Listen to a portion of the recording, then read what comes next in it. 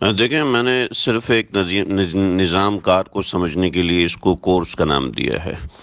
कि इंसान जब कोर्स कर रहा होता है तो ऐसे समझता है कि मैं कुछ क्वालिफ़ाइड कर रहा हूँ वरना नहीं करता।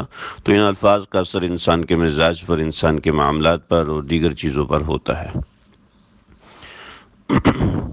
जो मैंने कायम किया है कि इस कोर्स की ज़रूरत क्या है? नबी अकरम सल्लल्लाहु अलैहि वसल्लम हर काम को तैयारी करके किया करते थे।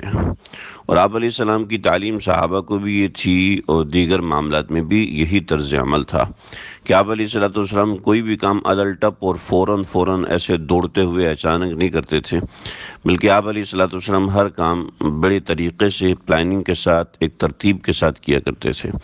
रमज़ान मुबारक की जो आप तैयारी फरमाते थे, वो रजब के महीने से आप तैयारी फरमाना शुरू कर देते थे। कि रोज़ों की कसरत होती थी, नवाफिल की कसरत होती थी, रातों को जागने की कसरत होती थी। तो इस कोर्स की ज़रूरत हमें इस तरह से है कि हम अपने आप को रमज़ान के लिए तैयार करें। आप सलाम जंग पे जाते थे तो पहले बाकायदा नक्शा डिस्कस करते थे। पहले बाकायदा मशवरा होता था, गजवा अहद के अंदर जो मशवरा हुआ, आप हजरात जो सीरत को पढ़े हुए हैं वो जानते होंगे। तो इस तरीके से आप सलाम हर काम की तैयारी करते थे, दुश्मन को किस तरीके से बेखबर रखना है, किस तरीके से जासूस भेजने हैं, किसी भी जंग की तैयारी के लिए। फिर किसी भी मामले की तैयारी के लिए, जैसे रमज़ान मुबारक की तैयारी है, ज़क़़त की अदायगी की तैयारी है उस तरीके से बहुत सी चीज़ों की तैयारी के लिए आप सलाम बाकायदा तरगीब दिया करते थे। जैसे आप समझ सकते हैं कि जब शराब हराम हुई है तो उसकी बाकायदा एक तैयारी हुई है कि शराब की हरमत के लिए पहले एक हुक्म नाजिल हुआ कि इससे बचो। फिर दूसरा हुक्म नाजिल हुआ कि जो नमाज़ नमाज़ पढ़ते वक्त इसके करीब नहीं जाना। फिर तीसरा हुक्म नाजिल हुआ कि गंदी चीज़ें इनसे बचो।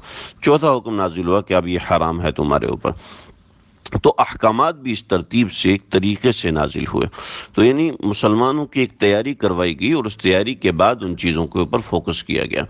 तो अब मामला इसी तरीके से है। हज़रत आयशा फरमाती हैं कि अगर मक्की सूरतें मदीने में नाजिल होती और मदनी सूरतें मक्के में नाजिल होती तो कोई भी शख्स मुसलमान ना होता।